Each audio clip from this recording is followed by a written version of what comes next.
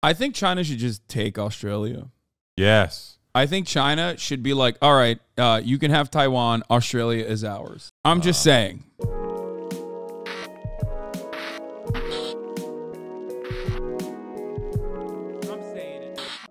CIA Harris at it again. Oh shit! The U.S. military is planning for a war with China. Oh shit!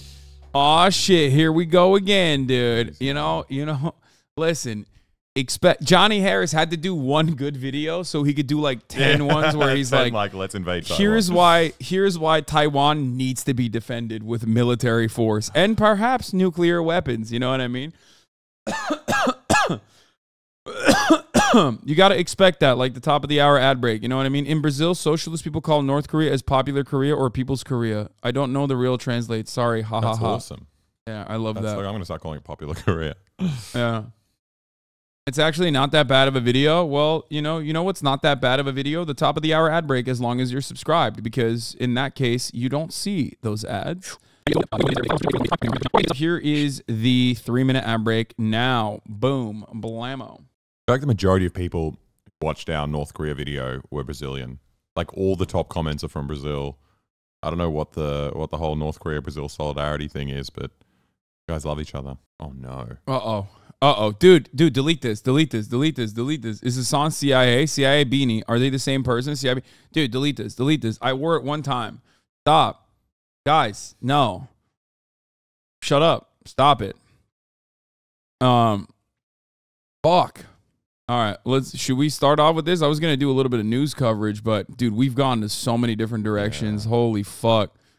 All right, you know what? Let's do the Johnny Harris one. Uh, breaking House Freedom Caucus just expelled Marjorie Taylor Greene, apparently for not being far right or MAGA enough. Finally, someone's coming after her for being fake and a phony.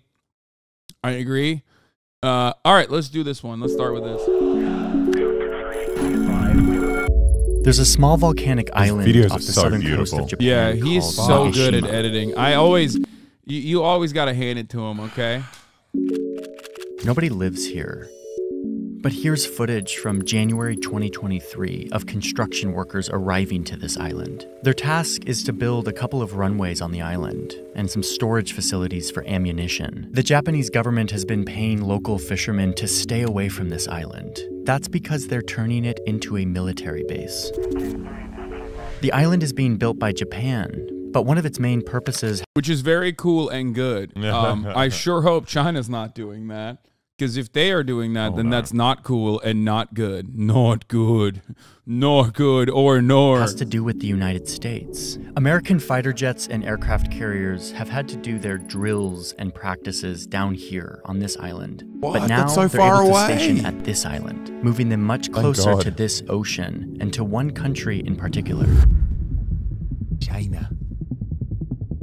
Mageshima is just one of many islands that are being loaded up with military hardware, most of it coming from the United States. It's part of this chain of militarized islands, an effort of defense Militarized or islands. aggression, depending on how you look at it. It's a line that centers on Taiwan.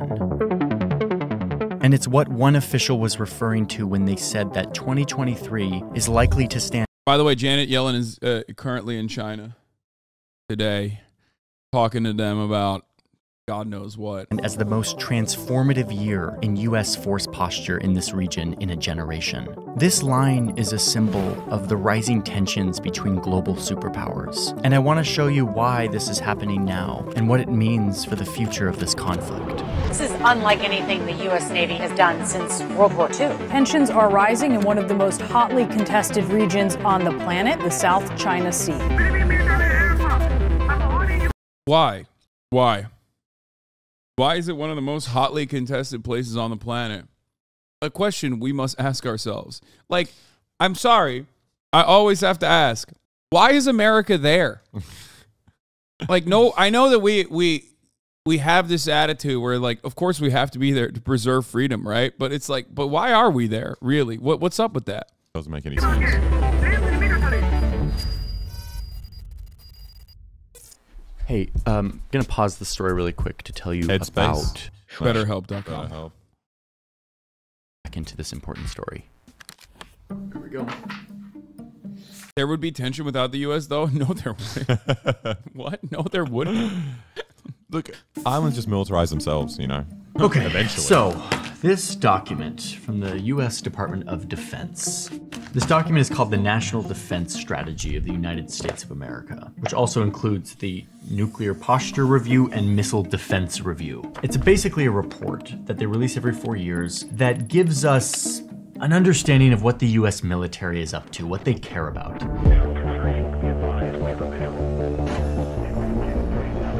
Like like China and who would have tension without the US. Imagine no US involvement in that region. Who who what what you think the Filipinos are going to rise up against the Chinese or something? Like what what do you think is going to happen? Motherfuckers be like Japan, really? Okay. Like current day Japan? No, we're not talking about India, okay? We're talking about that part of the world. China is massive, so obviously uh, there's tension on all sides. But but even then, even with India, But this year's is more detailed than normal. The document focuses a lot on China.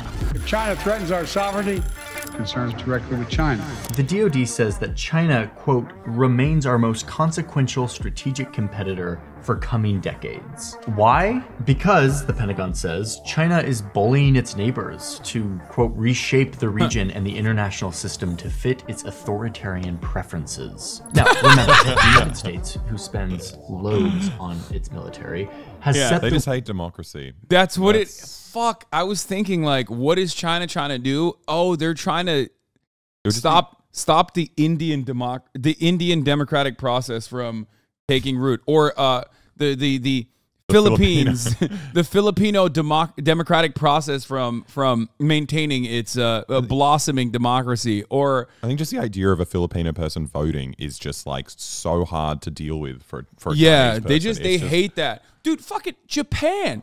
The the democratic process in Japan, like a One functionally one party state that America designed. Okay, like it's always funny to think about these countries. Like I love Japan. You guys know this is not a fucking uh you know it's not a meme, but let's be real. Like these are all client states, client states with an effectively one party uh, form of governance that that you would never consider a democracy by like Western standards. You know what I mean?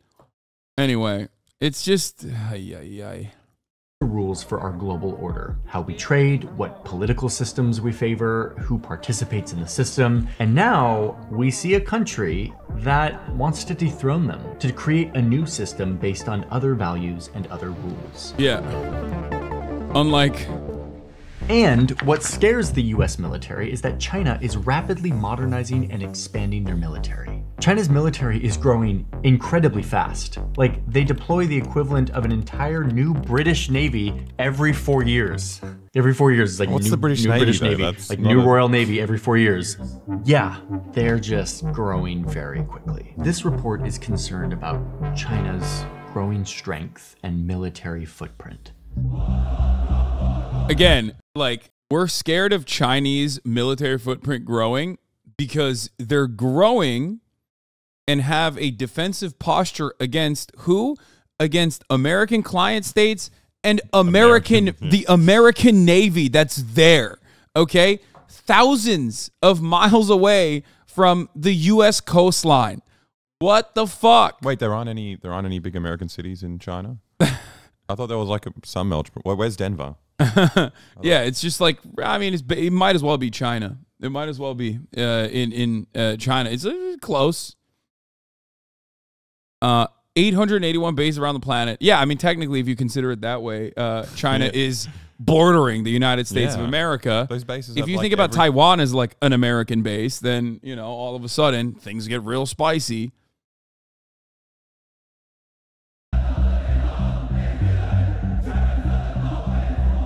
How China is coercing its neighbors, disregarding ocean boundaries, testing missiles, bullying fishing vessels in other countries. Like this entire video is only we get to do that, and not even in our backyard, which Just we already did that. neighbors. But other people's backyards we get to do that in, and you can't do that.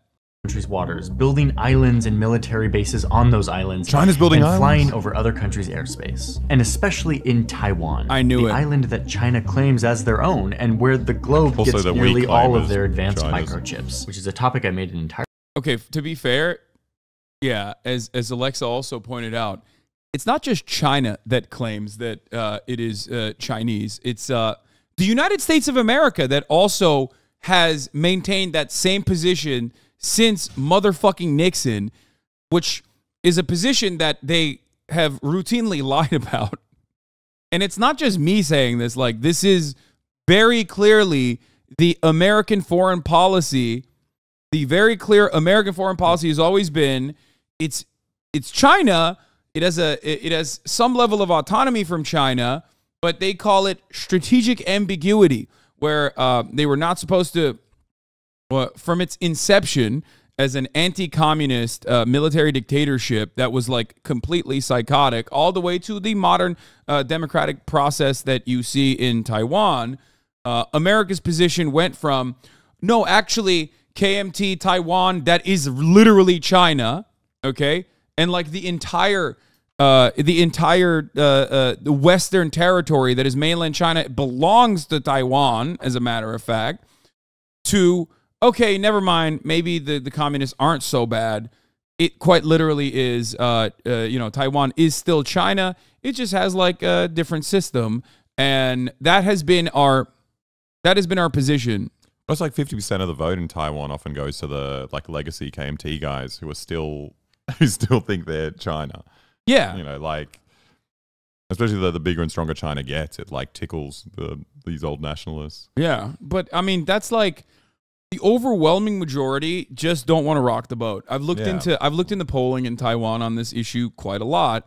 Most people just say, "Listen, uh, yeah, we would prefer to be autonomous. Uh, we would prefer to be independent for sure. Like that's understandable." Um, but overall, the current system that we have is much better than what could potentially happen, which is uh, rocking the boat. Okay.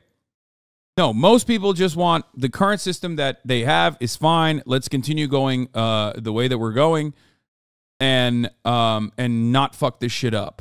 Uh, whereas you know Nancy Pelosi's like, I got some other ideas. Okay, I got some different ideas. anyway, I mean, and, again, On Taiwan, I reiterated the long-standing U.S. One China policy. Uh, that policy has not changed. It's guided by the Taiwan Relations Act, the three joint communiques, the six assurances. We do not support Taiwan independence. We remain opposed to any unilateral changes to the status quo by either side. We continue to expect the peaceful resolution of cross-strait differences. I think China should just take Australia. Yes. I think China should be like, all right, uh, you can have Taiwan. Australia is ours. I mean, if you ask a lot of right wing people in Australia, that's already happened. That that has already happened, right? Yeah, they why- did it through immigration. yeah. Yeah, I'm just uh, saying. China are in absolutely no rush to annex Taiwan or whatever. Is the U.S. who wants to provoke a conflict in the hope that they Yeah. can somehow ruin the Chinese economy before it totally surpasses the American economy? That is correct. Well, yes. that's what that's what America has in the back is like a military strength. America like, would you never do that. Invade another country or No, uh, agitate, uh, agitate like uh, any kind of uh, any kind of group of individuals that are in a position of power that they placed that would then go and and uh, try to drum up support and maybe create uh, any kind of like civil chaos or even all out war. They would never do that. They've never done that historically speaking, and they certainly will never do that. Surely and aren't doing that in in Taiwan. While Antony Blinken is like, uh, you know, one one one nation, two systems. Uh, do you We remain much? committed to meeting our Is there much pushback on it here? Like in, in Australia, it's like bipartisan, the anti-China stuff. Like you, you, Oh, you can't dude. find anyone who's Dude, it is super bipartisan here as well. Oh my lord, there we are always on a we're always on a like who fucking hates China more Yeah, kick. yeah. Like like Joe Biden's like, no, I'll execute the Chinese. Just wait, Jack. And then and then Donald Trump's like, I've killed so many Chinese. we hate them. D- Donald Trump literally claims that Joe Biden because he had like some documents uh, in a in a facility in Chinatown that like he was actually working with the Chinese because he thinks Chinatown, which exists in like every fucking large American city, Wait, what? yeah, They're everywhere. Yeah, they're everywhere, is technically Chinese. They think it's Chinese soil. Anyway, let's Our responsibilities under the Taiwan Relations Act, including making sure that Taiwan has the ability to defend itself. On Taiwan. anyway um but this was shocking for a lot of people who have just like who don't know anything about uh american chinese relations or like america's foreign policy on china but instead have just been like paying attention to uh how uh, bad china is. So they're like genuinely shocked when they heard this. They were like what?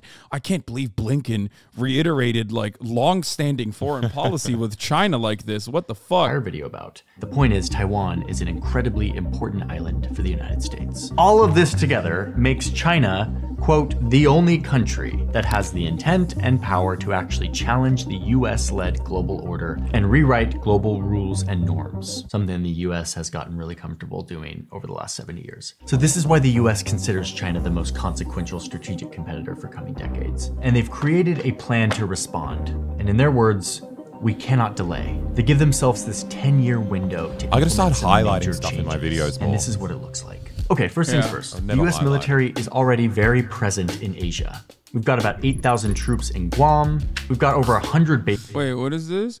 By making a stance and say that we can stand with is Taiwan, we sh- make sure that they stay democratic. China won't ever attack Taiwan, so this is good. Okay, you lost me there.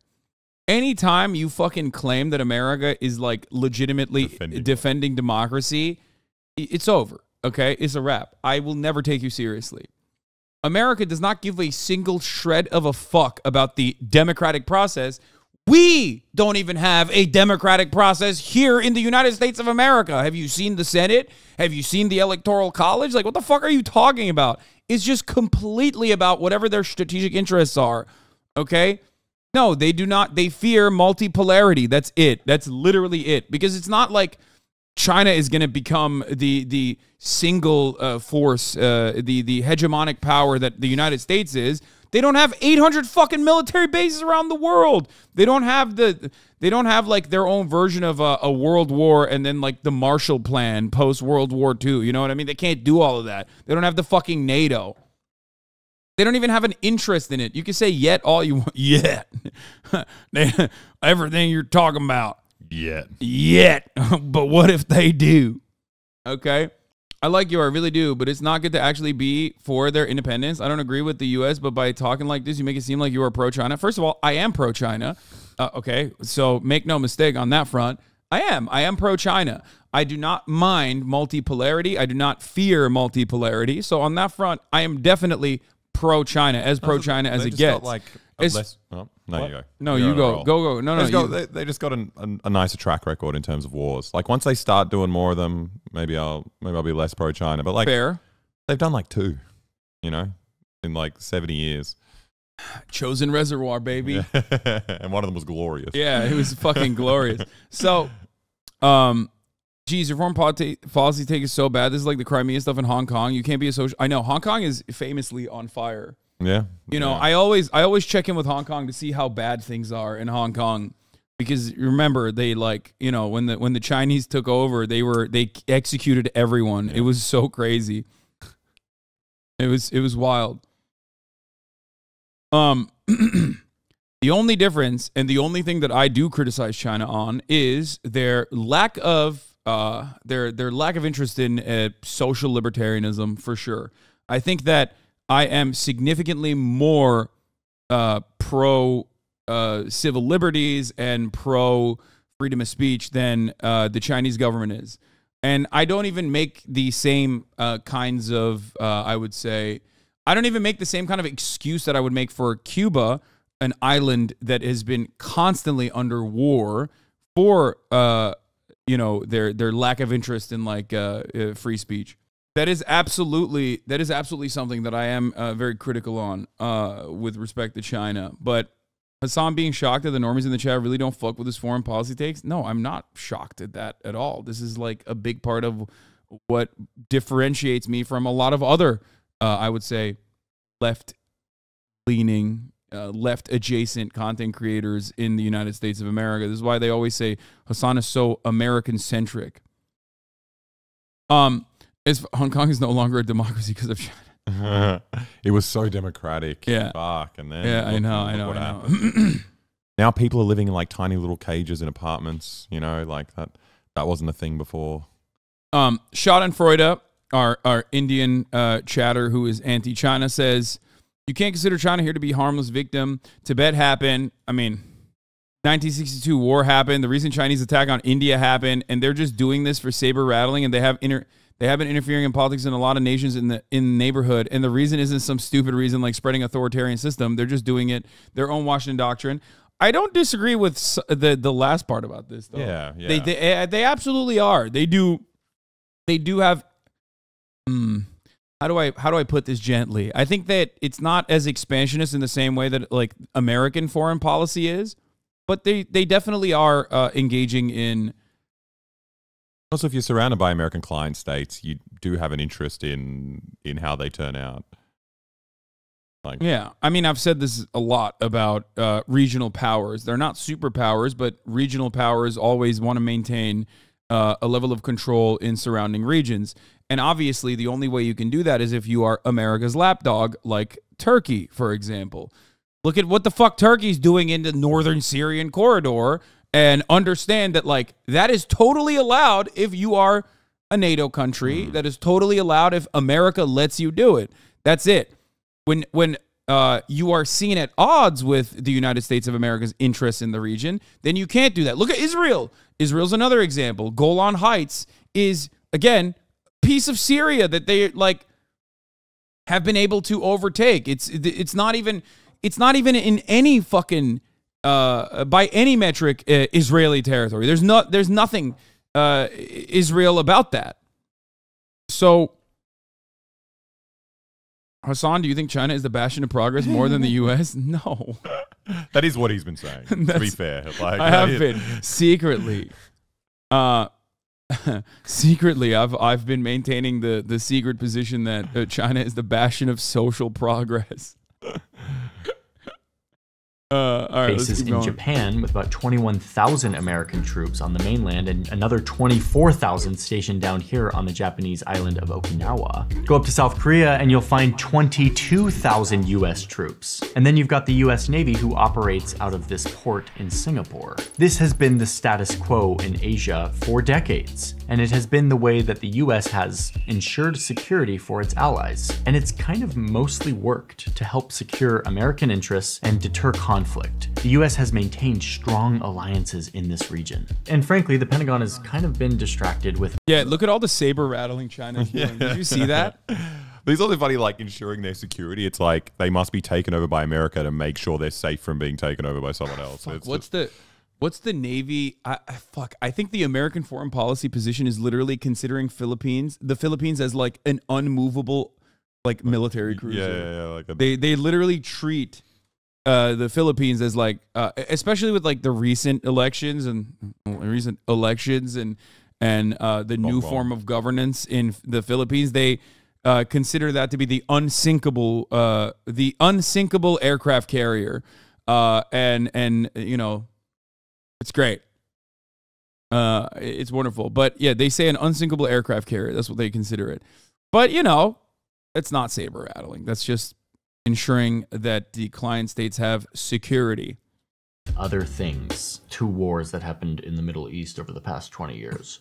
My fellow citizens, my fellow citizens, my fellow citizens. But as those conflicts wind down, and as China militarizes, the Department of Defense says that this status quo, all of these troops in Asia, it's not enough. They talk about this new kind of deterrence integrated deterrence. The only kind of military posture that will actually keep China at bay. And this is what it looks like. The smallest part of the strategy has to do with American bases. They're going to reopen a base in Guam and move some troops there. But the majority of this strategy has to do with American allies in Asia. allies that are in lockstep with the US's goal to deter and contain China. The Pentagon calls partnering with its allies the center of gravity for this strategy. So let's start with Japan, one of the US's closest allies in the region. Japan is a country that is deeply concerned about a more powerful China, with its massive navy and its ambitions to control Taiwan. And it's very easy to Wait, what forget. does, why does Wait. Japan care about Taiwan? What, what do you mean, dude? like, oh, course they do. Japanese homeland of Taiwan. Yeah, no, they they just they they care about it. Just don't worry about it. They Right. care. They care. Maybe it's Well, because Australia like cares about it, so like if Australia feels enough of a connection to Taiwan, I'm sure Japan does. yeah, they, they dude, they care because they hate the undemocratic Ah, Chinese rule. They were really critical of uh, uh, like the original Taiwan governance when when it was just like a genocidal military dictatorship. They were like, "Ah, Taiwan, why on, are you doing this? Come on, we have guys." to contain you, Taiwan. Or yeah, else, that's what they kept saying. Same with South Korea, as a matter Yeah, of fact. yeah, when yeah. when South Korea also was a genocidal military dictatorship, and then changed its uh, uh, uh, structure of governance from that to uh, six chaebols in a in a suit jacket, which is is is very different now, and and totally uh, again very democratic. Well, they have an incel president, which is cool. Yeah, yeah. I do think that's cool to have like a guy who literally ran on like, yeah, women fucking suck uh, candidacy. um, important to note that the 11 dash line that he calls the Chinese claim is actually a claim that Taiwan also advances Lamau. Where where is the I didn't closest ally. well, they they also th- there's a funny little trick that maybe me as a Turkish person I I'm a little bit more aware of that like Western forces always utilize. Um, they'll constantly say, you know, Taiwanese airspace, and you know, uh, China is flying on Japanese and Taiwanese airspace. And if you don't really pay attention to the map, you will look at that and go, "Oh wow, that's really fucked up that they're flying in Taiwanese airspace." Until you fucking realize that it's literally the border. It's the fucking landmass. The Chinese landmass where it ends and the water begins is basically fucking not uh, Chinese airspace, according to uh, a lot of Westerners. Why am I saying this? Because they did the same thing with Turkey and Greece. Okay, there are a lot of circumstances where uh, you know there's a lot of like uh, uh, you know there's a lot of uh, tricky situations with like the Turkish uh, the Turkish military and the the uh, Greek military constantly just like fucking around with one another because if you look at like the Turkish airspace it's it's just it ends at the border where the landmass ends okay I mean, that's insane. That's an insane way to, to operate. Okay. This was from, uh, I think this was like the, the airspace closed to against Russia or something. This was when there was a battle. But like, this is the fucking Turkish airspace. Look at this. Does that make sense to you? Taiwanese airspace. Wait, what? The whole square? No, the line. Uh, I don't know if this is where it ends. Uh, I think it does. I think it Taiwanese airspace technically is is uh is is Chinese landmass too. And the Taiwanese fucking breathe a lot. Um, They're sucking in all that air from mainland China. CNN reporter, why is this Chinese? two-seater that they say is armed with air-to-air missiles, and it's been shadowing this U.S. Navy plane now for about 15 minutes. It is pretty remarkable to see this Chinese warplane operating at such close proximity, several hundred feet away. 11 at It is Yeah. interesting that China got so close to our plane. Yeah, what the The fuck? country Why are you, just like moved towards where it, we it's flying. literally is like the why are you hitting yourself, but on a global scale. It's like, dude, what is your plane doing there? You know what I mean? We we understandably took care of a fucking balloon that was uh, that was Chinese that happened to fly over U.S. airspace because it caught like the wrong wind current, which we again openly admitted months later was not doing any kind of spy reconnaissance, as I correctly told you at the time. And everyone was like, Hasan, you don't know what the fuck you're talking about, blah, blah, blah. It's like, I'm like, why would they do that? They have satellites. The best way to do actual reconnaissance is put fucking cameras. If you want like up close and personal photographs of like, I don't know, some uh, military base dude's asshole hairs, then you just strap cameras under a fucking low flying Cessna or under a private jet. Okay. You don't have to fucking literally uh, fly this like dumbass balloon that's like clearly visible. Okay. Or just use, you know, the satellites that they have. anyway, and remember what we did? We blew that shit up. Air defense identification zones in East Asia. Oh, so the blue square is Taiwan. Yeah. There's like a huge chunk of. What do you mean? There's nothing wrong with that. It's like they they deserve that land. Uh, oh, I'm sorry. So is there not enough China for you that like they can't take some of it? Give some of China It's pretty big country. to Taiwan. fair. It's a big country.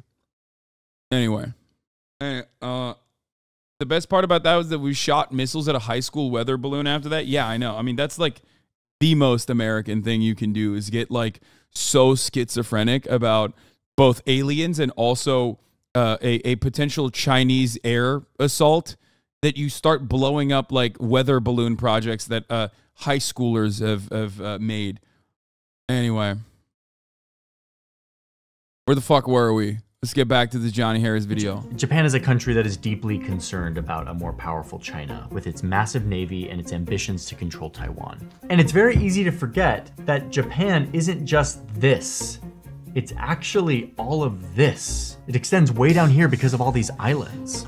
These islands curve nicely all the They aren't gonna watch it. They're just gonna call him a tanky if they even know who Bad Empanada is. They aren't a serious person.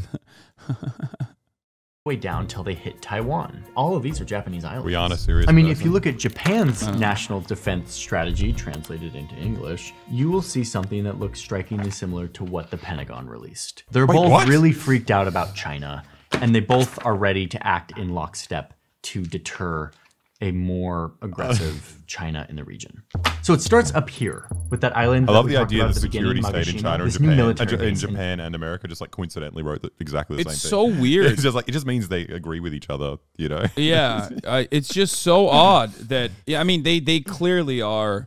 Uh, yeah. How many? They're just kindred spirits. Yeah, that's why that's why Japanese people famously love American military bases on uh, the island. Um, that's it's just like they're just friendly with one another. They just yeah, they have similar opinions.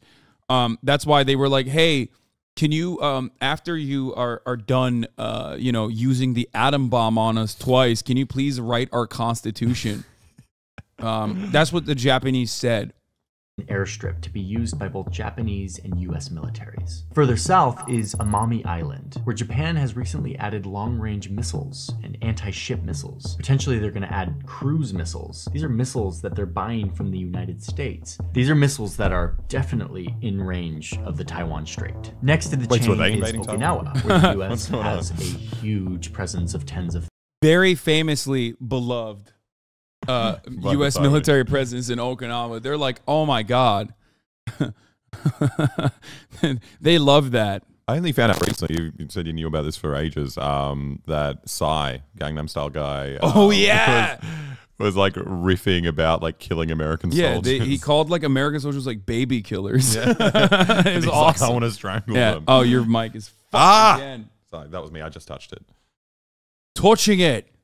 Wait, uh, is it good now or is it still fucked up? Just don't It's touch good. the cable. Okay. okay.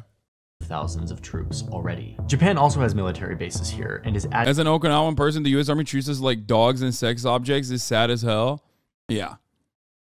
I was being sarcastic for the. I'm being sarcastic with most of the things I'm saying. But imagine what. China would do. Yeah, but oof, yeah. Come on. Well, eh, when you talk about the the Chinese uh, and and Japanese relations, Oh yeah, maybe. you know, it's maybe China could be worse. I don't know. We I don't know if they if they got revenge on the mind, for example. But you know, not modern China, at least, uh, as far as we know.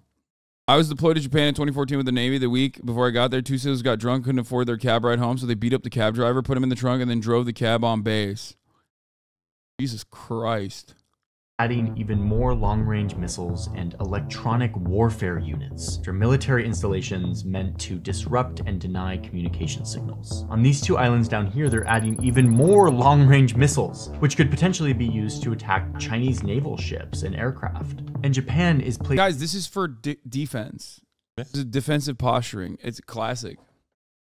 Nearly 600 troops on Ishigaki as well. And finally, you've got this last militarized island in the chain, Yonaguni. It's the closest island to Taiwan. And here, Japan is adding more of those electronic warfare By the way, if by some magic, okay, not saying that this is happening, not saying that this could ever happen, if by some change of heart, that the entirety of the Taiwanese population was like, actually, we're Chinese. What the fuck do are we talking about? Let's uh, let's just openly be uh, you know, pro China.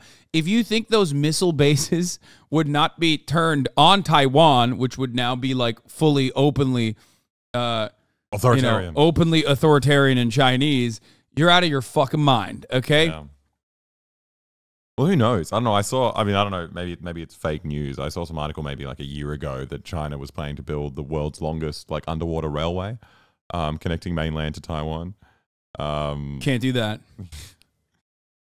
How is this not considered escalation? We are literally aiming our guns at them. Guys, it's defensive. Ugh. Didn't you hear what Johnny said?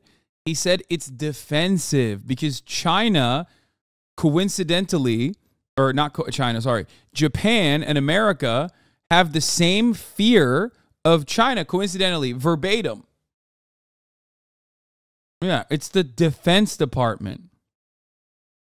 I don't know. It's just so sad. Yeah, like an like when North Korea is doing defensive military testing, like missile testing, they're doing it defensively. okay. Oh wait, no, sorry, that's a foreign adversary. They're doing it to scare Japan because they're gonna they're gonna nuke America and then nuke Japan first, which is like kind of like uh, you know an extension of Hawaii, I would say. Uh, so that's why they're doing that. But when Japan is doing it and America's doing it, it's a defensive nuke. The nuke was just defense. Okay, first of all, America literally claims that the atom bombs were defensive because the firebombing campaign was significantly worse for Japan overall than the two atom bombs. If you've never talked to like a, a- an American history nut, I don't know what to tell you, but there is quite literally a that is literally the take. They consider like it we did something worse, so don't worry about it. yeah, they they they have uh, uh, genuinely and openly uh, explained that like the atom bomb had to happen so that uh, the the the firebombing campaigns would stop. Oh, all right. Yeah. that's, that's really good. I didn't get Yeah. that. That's hilarious. That, you, Oh, that's God. not even a joke though. That's like actually the What position. people believe.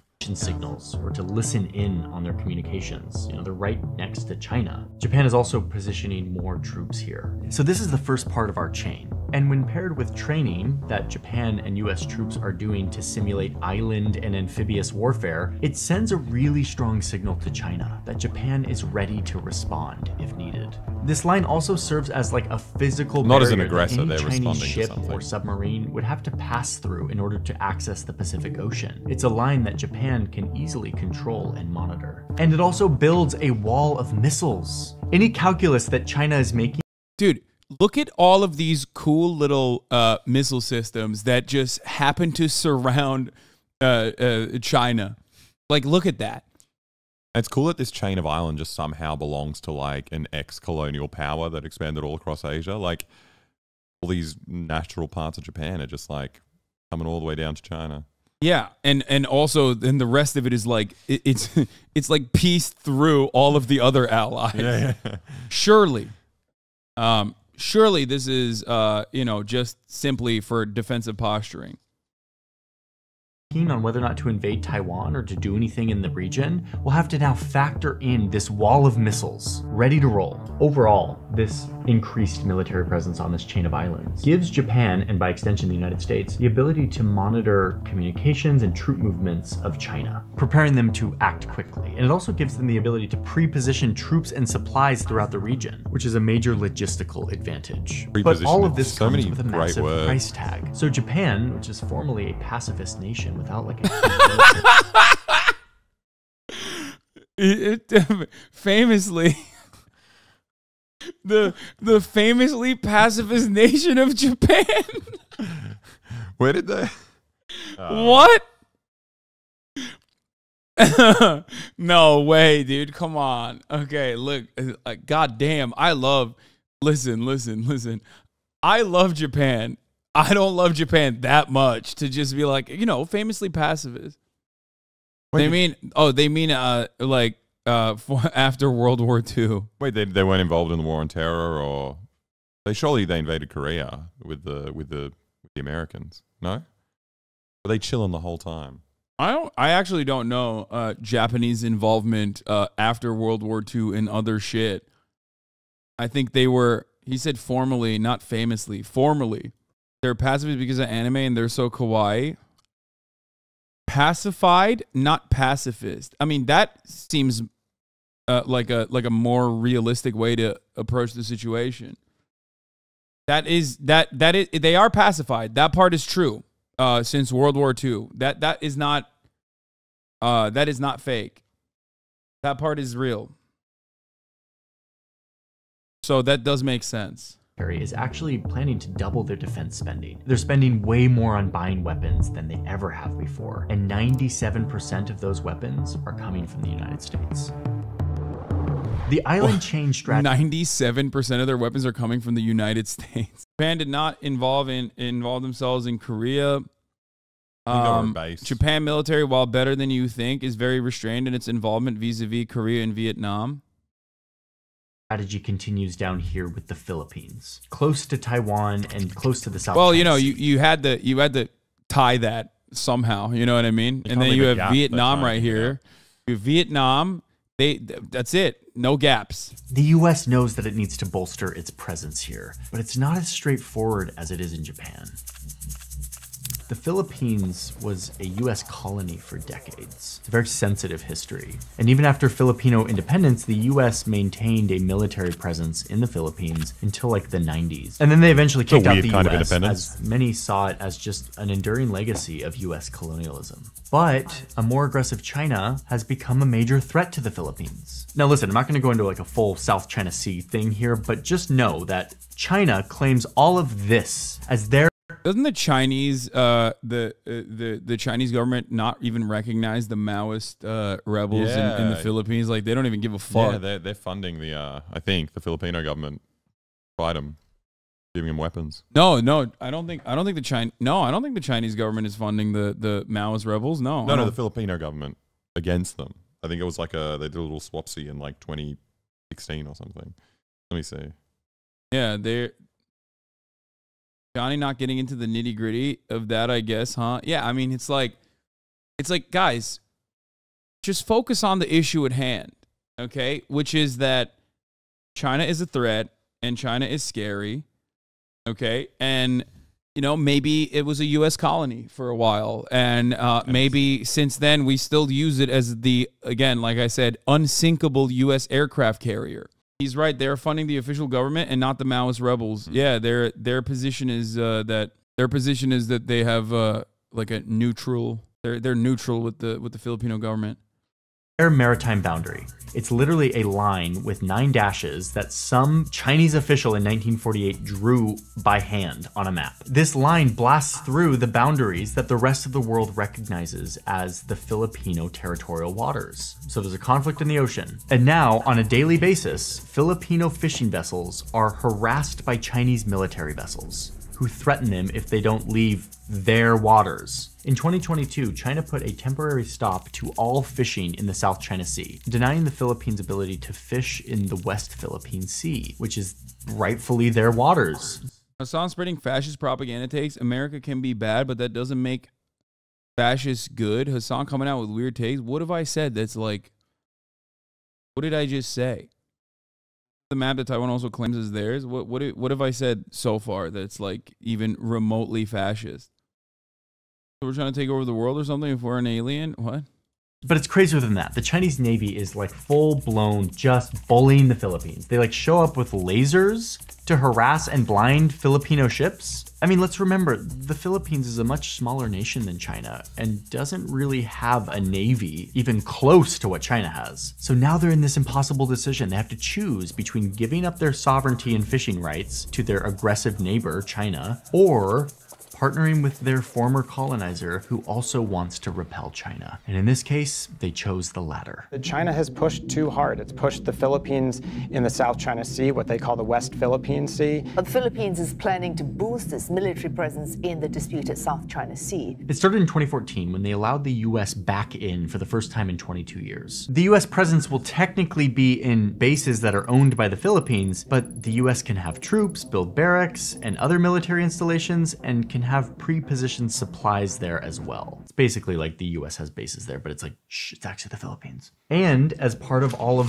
this that we've been talking about, in late 2022, they expanded their agreement, giving the US military access to four more bases, bringing the total number of bases on the Philippines up to nine. And That's look how where you- they selected to put them. And then that that's how you do it. That's how you fucking close the gap.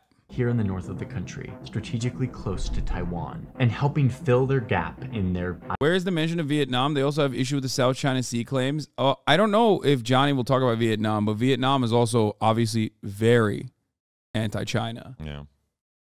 They love America.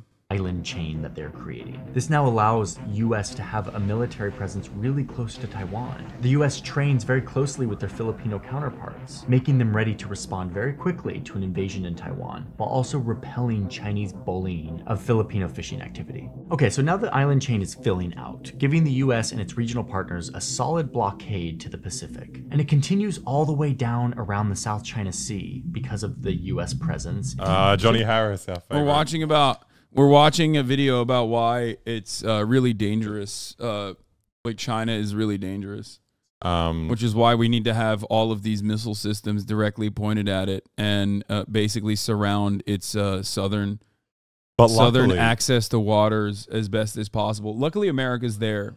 Yeah. Yeah, you Um, can join, dude. You guys love you guys love streaming, dude. Just fucking say it. I think also like luckily, like coincidentally, a lot of these countries like defense papers are like identical, like word for word to America's. So it's good Yeah. everyone agrees, you know, like it's It's just it's They're all on the cool. It's cool when it just works out like that. Yeah. You know what I mean? It's you know when your friend knows what you're thinking, you don't even have to say it. yeah. I love that shit. Yeah, it's just perfect. Um, if America didn't surround China, your freedom to stream would be in danger. Mark my words. what you mean streaming is over? What the fuck? imagine a free Hasan just playing basketball every day. Yeah.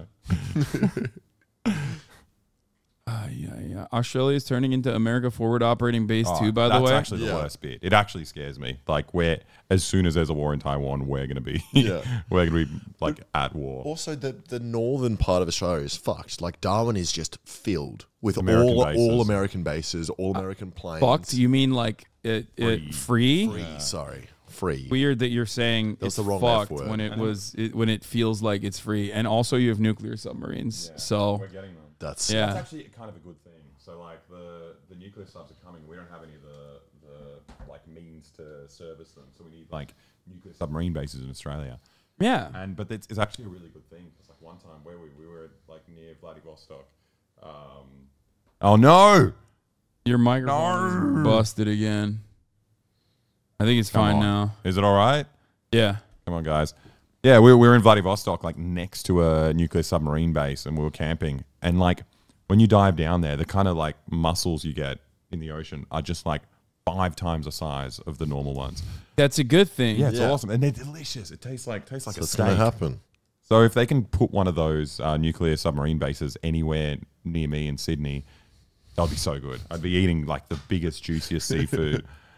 Yeah. What do you mean? It's great. It's awesome. Tastes like freedom to me. You It's said steak. actually actually delicious. yeah, you said Yeah. steak. Like it's the only seafood you'll be able to eat. It tastes it tastes like like like beef. all right.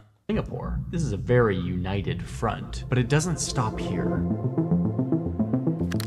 The last part of the strategy is potentially the most significant, and it has to do with Australia, a country that is oh, also alarmed by We are China's so rise in the region. So there's this military pact between the US, the UK, and Australia. It's called AUKUS. What it means is that these three countries will work together to create a unified submarine force that will patrol the Pacific. Thank First, God. What it means is that the US is giving, giving nuclear submarine technology, its most powerful and advanced weapon, freely to Australia. Wait, wait, Here, wait, wait, wait, wait, here no, the we paid dumb amounts of money for those submarines. What do you mean? Free? It No, was it's like- free. Johnny Harris said it's free, so What? he's Wait, wait, wasn't it like 20 billion or It was 90 more. billion? It was fucking so much money.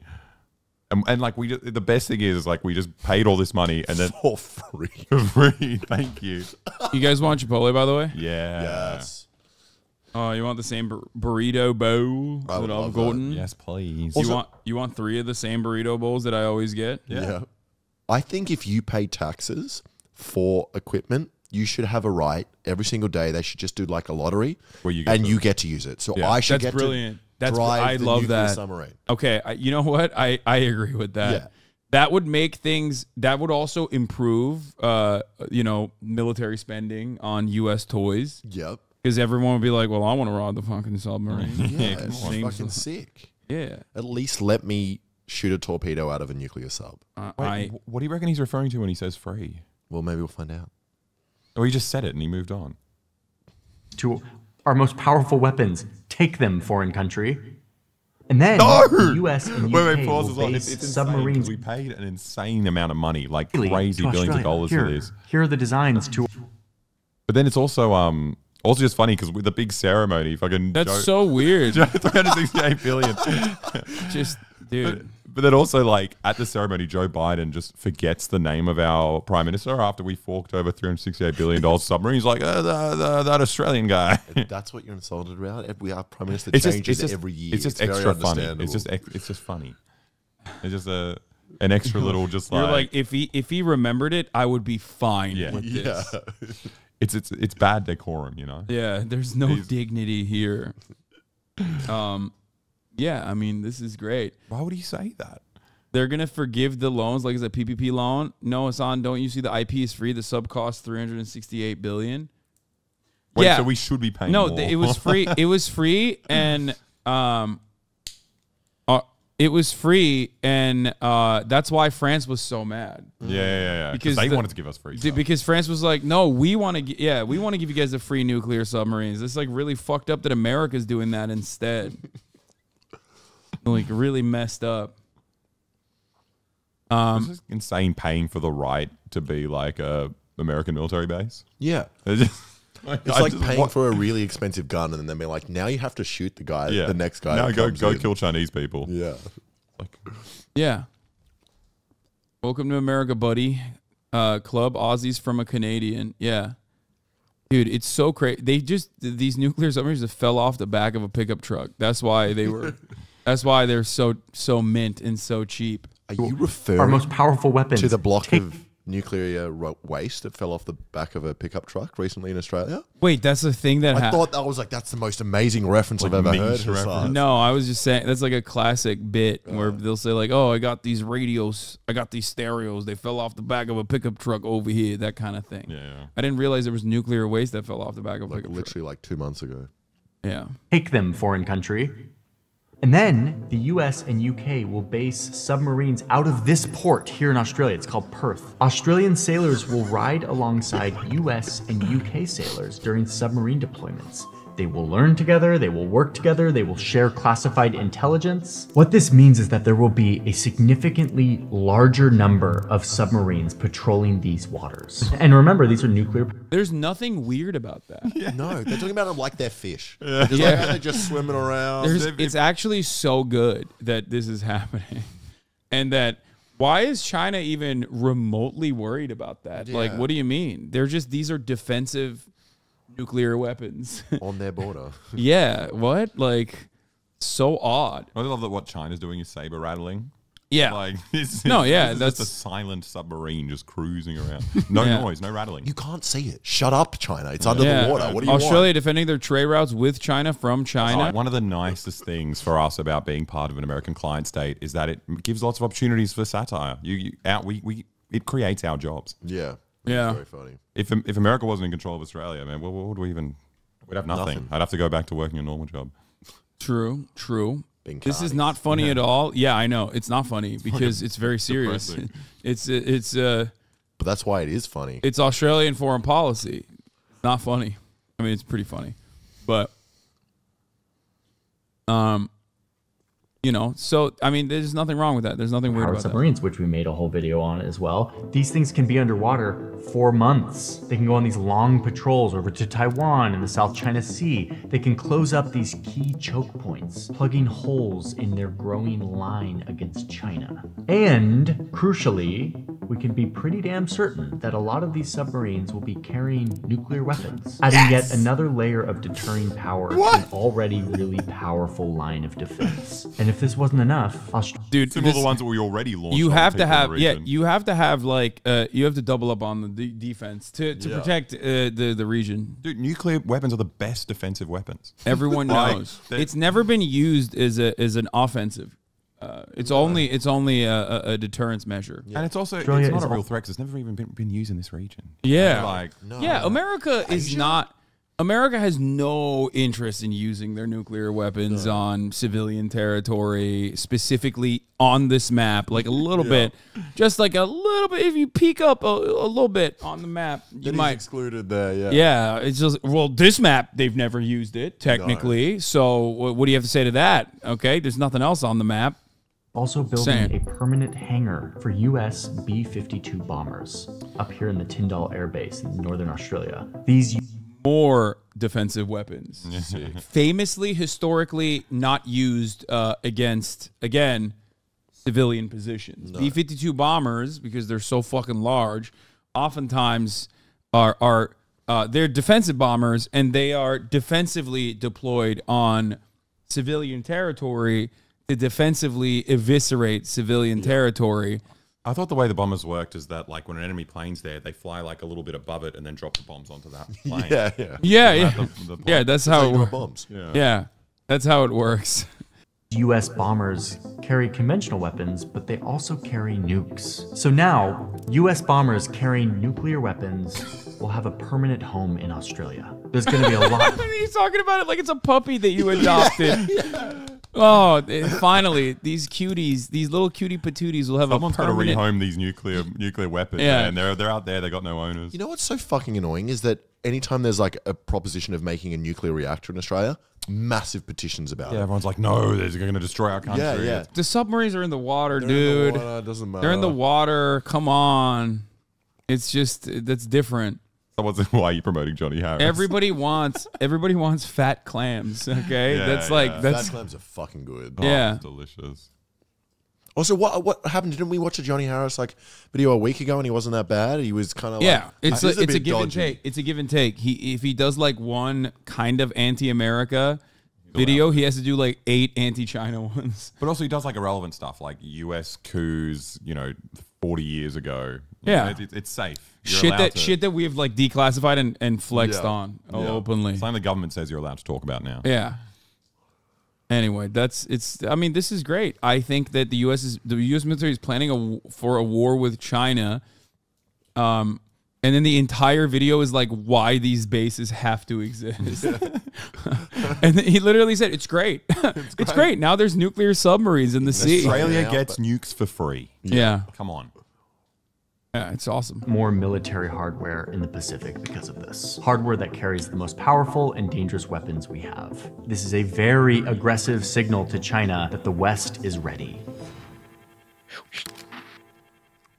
So now, if you look at the whole thing, this whole chain, you see how robust this presence is. This is what that military official meant by transformative. The military name for this is the First Island Chain, and it is at the heart of the Japan. US and its allies' strategy to counter and contain China. And it's easy to see that this island chain, while protecting a lot of different interests for a lot of different countries, really centers on Taiwan. A major purpose for all of this militarization, the missiles, to the defend subs, democracy in the Taiwan. air bases, the troops, is to prepare for conflict in Taiwan. And this is where we get to the paradox of deterrence. You prepare to fight so that you don't have to fight. All of this preparation might Yeah. be just what is needed for China to decide that it would be too costly to invade Taiwan. But Yeah, other- dude, dude, totally. That's what I was thinking. Yeah.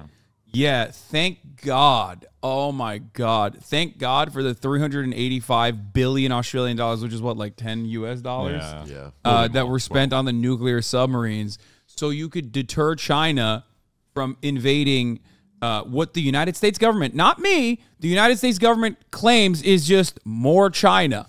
Okay? That's not me saying it. That's Antony motherfucking Blinken saying it. Okay? That's what every American State Department official has said on record since Nixon.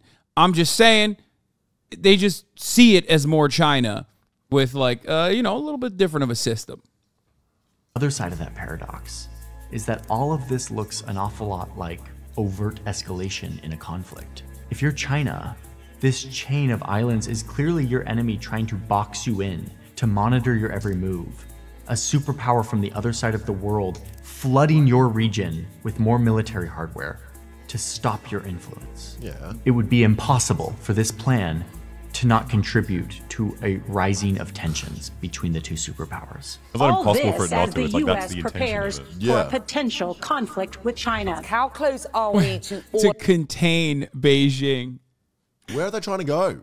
No, what are you talking dude, about? dude.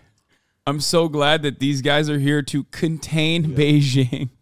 Like 95% of those weapons on Japanese islands are American. Uh, yeah, yeah. Shit take us on. Arrogant and ignorant. No, you're right. Beijing needs to be contained. That's why it's it's perfectly valid for. That's such a modest and not arrogant take. Yeah, You're I'm a I'm so. no, I I think like the only good take in the situation is if you say China are a bunch of genocidal, bloodthirsty monsters, and all of America's allies who came to the conclusion that they need to defend democracy against Chinese anti-democratic interests Yep. have to do so by purchasing metric tons of U.S. munitions And nukes. and and even nuclear submarines. Like you got to do that. That's a thing that you have to do. Thank God. I hope everyone can take a deep breath at the top of the hour and recognize that I am, you know, uh, still pro America all the way. And modest. Okay, and and modest and not arrogant. Finally, finally, a non-arrogant take. Also, just the nukes, so overkill. Like, Yeah, come on. you what? The only use of a nuke is to blow up everything, A city. Uh, the entire city. No, first of all, these are nuclear-powered submarines. Oh, That means they can be underwater for, you know, months on end. Okay. Secondly, even if they had nuclear warheads in the submarines, let's say maybe, I mean, that stuff is classified. Who knows? Yep. Who knows if they have nuclear powered submarines with nuclear warheads in them? Um, they might. But even then, I present you with the alternative radiated clams yep. I forgot about that. that, that Radiated taste like steak. Yeah. I present you with the alternative. It's a defensive nuke. Yeah, yeah, yeah. Yes. It, you shoot the nuke at another nuke in the air, and then it it just, Because just let China have Taiwan, Pepega. That's what. Yeah, this is this is all this is all done to stop China from having Taiwan, 'Cause they which care the so American much. which the American government claims is more China. But you know, but it's still it's good to have this. It's it's just good to have it. Who amongst us does not need a couple spare nuclear warheads in a, in a submarine? It's nice. Yeah. I do feel safer. That's the one thing as an Australian. It just I feel like war is less likely on, in my country now that we have American bases and nukes. Def- I think the funniest part of this entire equation is that none of this shit matters, and the only thing that matters is trade. And every single country in this region, especially the United States of America and Australia, h- have incredible trade partnerships with China. Yeah. It's like their economy is reliant on Chinese manufacturing, and the Chinese economy is also reliant on U.S. purchases. So and and Australian purchases, and vice versa. So ultimately, all of this shit is dumb as fuck. Yeah. Anyway, um, isn't the claim Taiwan is more China optics to make China happy? No, it's not optics to make China happy. It's just what they consider to be the truth, which they legitimately uh, have always just been like, yeah, we're just gonna say that, but like we're gonna keep uh, beefing up uh, the the uh, the island so that we can uh, you know eventually use it as a fucking uh, as a weapon against China. There's no optics in that situation. It's called lying. Or if you're in the US government, it's called strategic ambiguity, ah, which is another word for lying, okay? That's what it is. And it's not like they lie about this. They openly state it. Like I said, they just rename lying and say it's strategic ambiguity. Okay? Anyway, I forgot to run the top of the hour ad break, by the way, which comes at the top of the hour every hour. Um, oh shit, uh, the food is here, by the way. um, literally being strategically ambiguous. ambiguous, yes, exactly. Uh, here is the three minute ad break. Now, there's no ambiguity there. It's not strategic. I just gave you the top of the hour ad break. Okay. Um, more YouTube apologies need to use strategic ambiguity. Antony Blinken, Antony Blinken coming out with a fucking ukulele to be like, toxic gossip train is finally here. You see the one I sent Alexa? What? Oh yeah. You, Oh yeah, yeah, yeah. I, So I've been good. already watching it. does that scare you? This hearing guy said, "I'm a Nazi." Manhunt three protest. Hasan is a Nazi fascist. Oh. He got you. Yeah. When your girlfriend accuses you of lying, just tell her that you're doing strategic ambiguity. Okay? like, excuse me, excuse me, I'm doing strategic ambiguity uh, to to to to better uh, recognize the interests of of uh, you know other people. I'm more thoughtful of other people that I've cheated on you with strategically.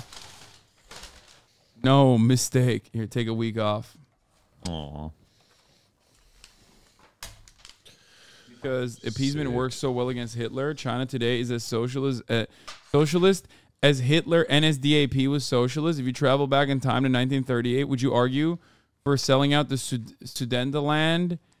Uh, or even more present, do you agree with the European stand to build relationships with Russia since the late 90s because we have relationships? There will not be war. Christ. Although it's just like he after the first sentence, just take it for granted that China and, and Nazi Germany are synonymous.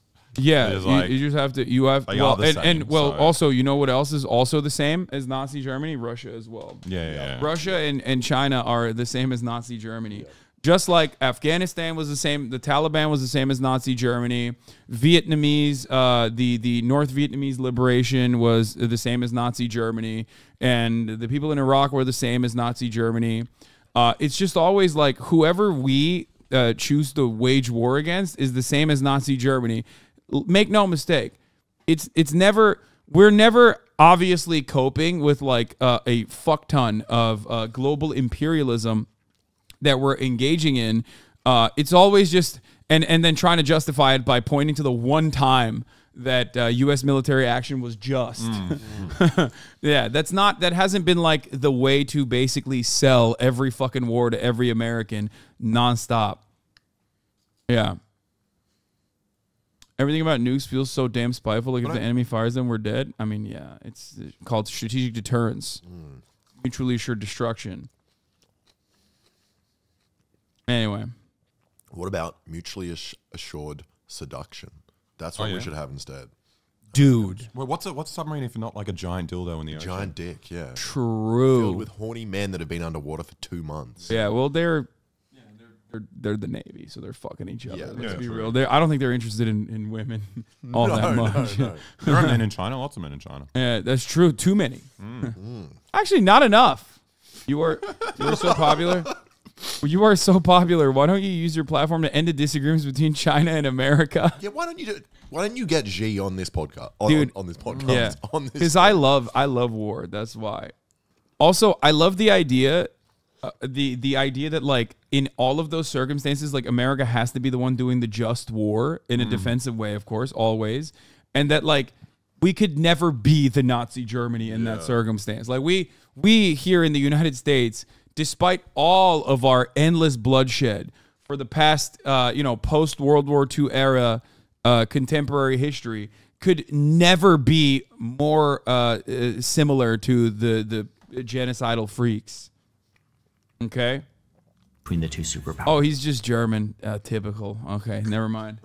He's uh, yeah, yeah. We get it, guys. You, you guys fucked up. I know all of your grandfathers fucked up. So now you have to constantly fucking, you know, toe America's line. That's the only way to, uh, you know. Okay, never mind. Let's continue. All this as the U.S. prepares for a potential conflict with China. How close are we to all out conflict between the Oh, world's two largest superpowers? 继续沿着错误的道路狂飙下去，再多的护栏也挡不住脱轨翻车，陷入对抗冲突。 Chinese President Xi Jinping has already called this a policy of encirclement and suppression. And let's be honest, he's right. Whether you like it or not, this is containment. Oh, Old school Cold War style containment. It's hard not to see it when you look at this map. And the Chinese foreign minister said that it would literally be impossible for China to not fight back, to take a move that retaliates against this move. Which means that if the US and its allies aren't careful with all of this, it may send a signal to China that now is the time to invade Taiwan before all of this plan can fully be implemented. In that sense, this strategy could provoke the very conflict that it is trying to. So if they get one more nuke, then China's gonna be like, "Oh, that's too Yeah, it's many." done. But not the level we have now. That's that's fine. We can But I- deal with that. I love still taking it at face value that it's like America trying to deter China from doing anything. they don't care It's about like- Taiwan at all. Like, Uh, yeah. I mean, at least he finished with a bit of um, you're like, hey, you know what? China's right. that would have been great. Do you reckon Johnny watches people reacting to Johnny? Uh, he made a when we were watching Johnny last time, right? He he made like a YouTube short. Yeah, of but wasn't it Hasan did something and he just went, Yeah, he's like maybe. maybe I don't, I don't know how I feel there.